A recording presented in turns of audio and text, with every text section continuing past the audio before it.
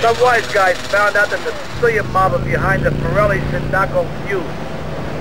He's headed over to meet Franco Forelli right now. It works very much to our advantage that Franco knows nothing. And this war keeps on going. Take that blabbermouth out. Got it, Sal.